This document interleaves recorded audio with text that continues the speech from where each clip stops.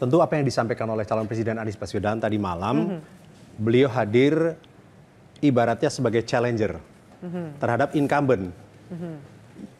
Bagaimanapun Pak Prabowo saat ini adalah Menhankam. Iya. Dan tentu saja momen tadi malam sebenarnya kita semua memprediksi bahwa akan menjadi panggungnya Pak Prabowo karena itu adalah makanan beliau sehari-hari bicara Iya. soal pertahanan keamanan. Prabowo banget lah gitu Iya. ya. Heeh. Nah, tentu saja kita eh, apa berharap bahwa ibarat eh, ombak yang besar ini bisa kemudian Pak Prabowo berselancar untuk memberikan penjelasan kepada publik. Hmm. Tapi rupanya momen itu tidak dilakukan. Apa yang Mas ingin Mas Anies Anies? ingin ingin ketahui adalah ba- bagaimana sebenarnya arah maupun kemudian eh, visi ke depan dari calon presiden Prabowo Subianto.